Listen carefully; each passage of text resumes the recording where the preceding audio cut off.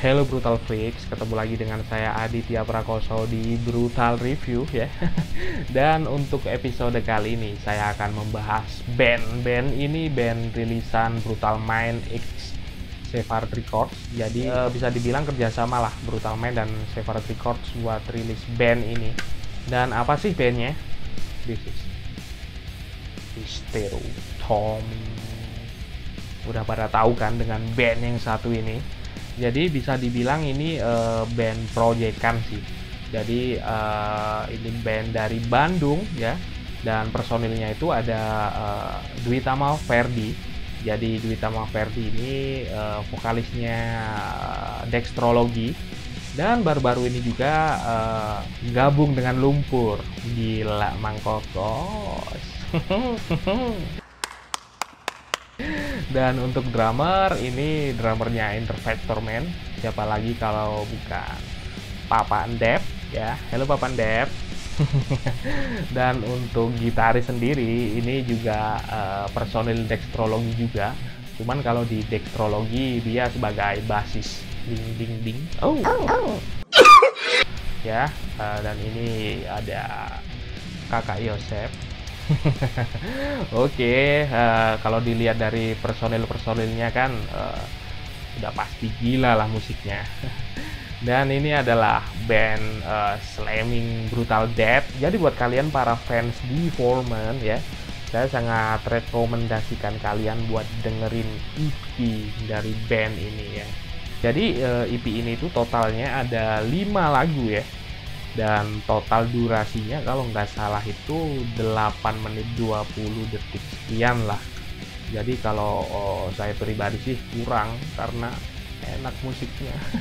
Jadi ya gitu putar terus putar terus. Tapi uh, saya enjoy banget dengan musik mereka.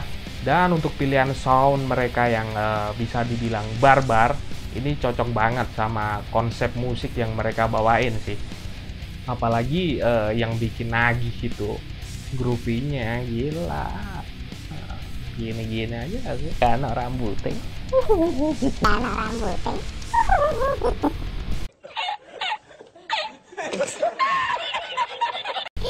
dan untuk mixing masternya ini dikerjain oleh Mr. Januar Yohardi ya kan? Insidious Sound Lab.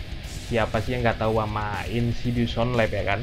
Karena banyak band-band brutal dead gila uh, mempercayakan mixing masternya itu pada Mr. Januar Yohardi. Oke Pak De, halo Pak De. Dan untuk artworknya ini di, dikerjain oleh Bagus, Bagus Putra, Redus, vokalisnya Redus, nggak tahu banyak ke mana. Aw. Sombong amat. Layoutnya juga dikerjain oleh Bagus, dan saya ingetin lagi, ini sangat saya rekomendasikan ya buat kalian para pecinta brutal slam ya, ya kan? Apalagi fans-fans dari Deformen ya kan? E, jadi kalian bisa dapetin CD ini langsung di Brutal Mind dan juga ada tersedia t-shirt covernya juga ya. Jadi jangan sampai kehabisan lah, karena apa ya? Bisa dibilang ini proyekan gila Dan sebelum order kalian juga bisa dengerin dulu uh, via YouTube ataupun Bandcamp dari Brutal Mind ya kan. Jangan membeli kucing dalam karung lah. Tapi kalau dilihat dari personilnya sih uh, musiknya pastinya gila. Oke, mungkin segitu dulu lah untuk Brutal Review episode kali ini ya. Dan terima kasih saya ucapin kepada yang setia menonton channel Brutal Mind Dan semoga gak bosen lihat mukaku, raiku. Yang remek.